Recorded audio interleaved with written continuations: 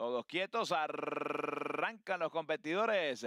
La partida es un poco lenta para el número 4, Siberian Iris. Se queda en los últimos lugares. Viene rápidamente por la parte central de la cancha Warren Jerry a tratar de tomar la punta. Ataca por el centro Kirshaw y viene a presionarlo. Hace lo propio por la parte interna Tintoretto. Luego se viene quedando en el cuarto lugar el ejemplar Swan Sufley. En el quinto, a unos siete cuerpos, viene quedando el ejemplar Red King. Más atrás viene apareciendo el número 7, Avalanche, el Tordillo, dejando en los últimos lugares al ejemplar eh, Soberano, mientras que si Siberian Iris está en la última colocación. El parcial que sale en el Tracus es de 21-2.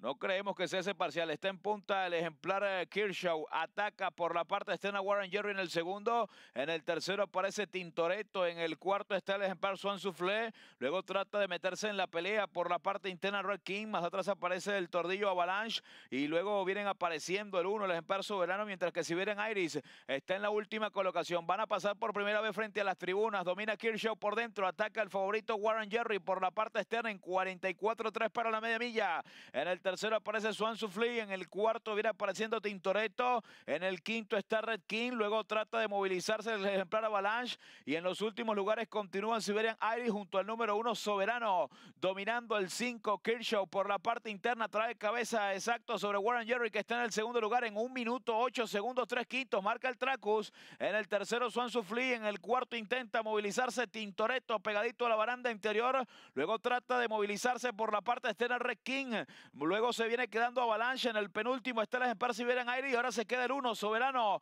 en la última colocación. El favorito Warren Jerry despega con tres cuerpos con Flavian Prada. En el segundo Kershaw con Abel Cedillo. En el tercero se moviliza Swan Sufli con José Valdivia Jr. En el cuarto está Tintoretto con Rubén Fuentes. En el quinto Red King con Huberto Rispoli. En el sexto viene apareciendo Avalanche con Giovanni Franco. En el séptimo está el ejemplar Siberian Aires con Dreddy Bandai. Y el caballo soberano con Bryce Blanc está último, pero solamente siete cuerpos del primer puesto.